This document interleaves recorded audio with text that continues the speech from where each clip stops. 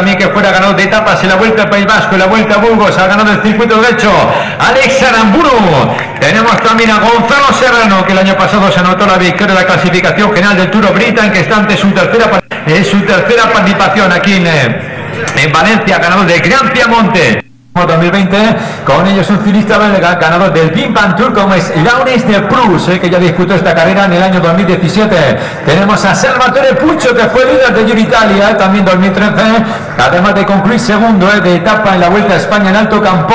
El vencedor el año pasado en Sierra Nevada, en la Vuelta a España, ciclista de solamente 23 años, también con de salida de victorias en el Tour de Douce, vemos a un líder del Tour de Francia, líder de la Vuelta a España, como es Mike Teunissen, que ganó la primera etapa del Tour de Francia 2019 en Bruselas. Tenemos a Laurent Suisse también, que ha destacado en Bélgica y en su país. Ganador también de la montaña en el Giro Italia, ganador del Trofeo La Iguelia, con victoria en el Giro de los Apeninos, su primera victoria, insistimos además en territorio español, para el ciclista italiano de 28 años. En esta formación que contamos también con el ganador de etapa en la Vuelta a España 2013, concretamente en la